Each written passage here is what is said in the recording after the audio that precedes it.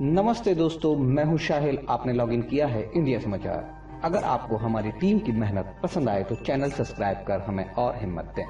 धन्यवाद। चूरू, बारिश का पानी पुलिस थाने में घुसा।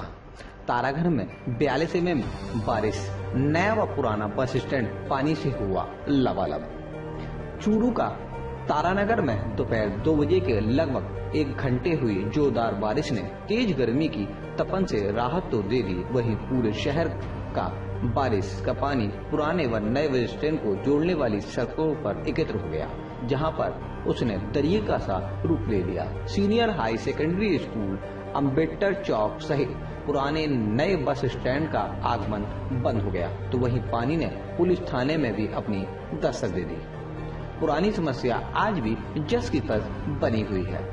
तारानगर के पुराने व नए बस स्टैंड को जोड़ने वाली सड़क पर बरसों से बारिश का व गंदा पानी भरता आया है। काफ़ी सरकारें आई और चली गई।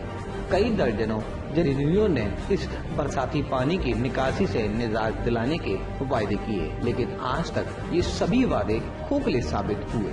नगर पालिका प्रशासन भी इस बात पर बड़े बड़े दावे करता अक्सर नज़र आता है, लेकिन आज तक न ही भाजपा, न ही कांग्रेस के शासन में तारानगर की जनता को इस समस्या से राहत मिल पाई है। अचानक मौसम में आए परिवर्तन से मौसम सुहाना तो हो गया, वहीं किसानों के चेहरों पर भी खुशियाँ लौटती हुई नज़र आई।